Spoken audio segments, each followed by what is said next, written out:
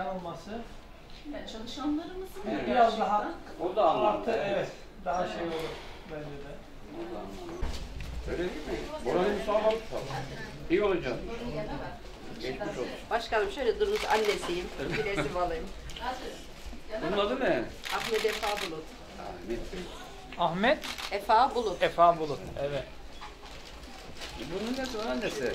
O enzim hastası özel bir çocuk. MTS, mukopolisel koridor diyor. Okullar, bazı okullarda bazı şeyleri.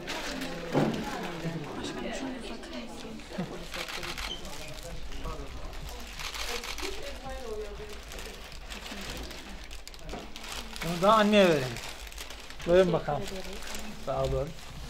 Geçmiş olsun. Yine mi gidiyoruz? Hadi verin bakalım oyuncağımızı. Nerede? Bak şimdi bu erkek delikanlı. O da bunun gibi. Buna hiç çete... Aa, o. Çok güzel ama. Çete kıyafet. Hangisi delikanlı bunun? Şu büyüyünce böyle bıyıkların olacak senin. tamam mı? Bunları mücahit Bey mi? İnşallah geçmiş olsun. Allah sağlık Tabii bizler hem teşkilat olarak hem bizim belediyelerimiz, tüm organlarımız seçimden önce olduğu gibi seçimden sonra da esnaflarımızı, yaşlılarımızı, hastalarımızı hemen her zaman e, ziyaret etmekle mükellef. Onların halini hatırını sorarak e, onlara bir geçmiş olsun dileğinde bulunduk. E, öncelikle Kadın Doğum Hastanemizin yönetiminde hastanemizin çalışmalarıyla alakalı bilgiler aldık.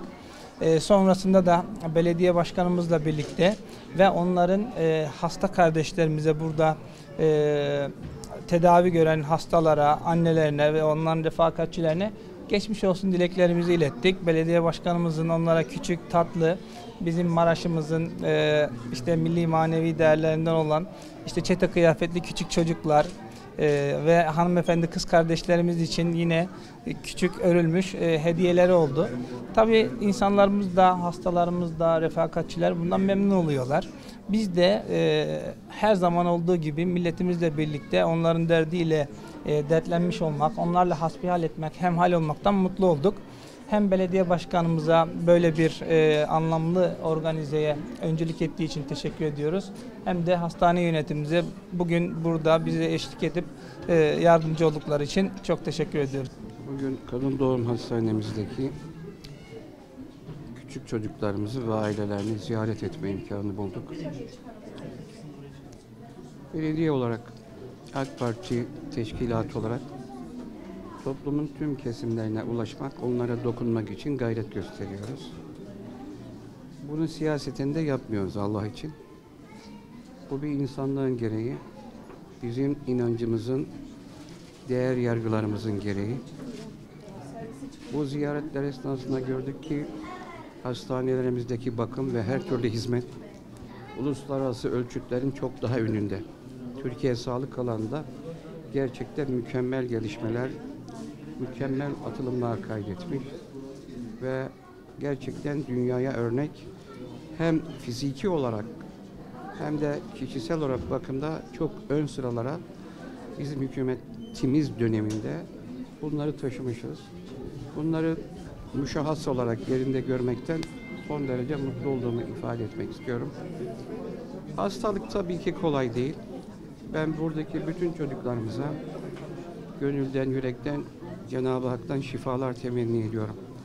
İnşallah kısa sürede sağlıklarına kavuşurlar, aileleri, aileleriyle beraber mutlu bir yaşam sürerler.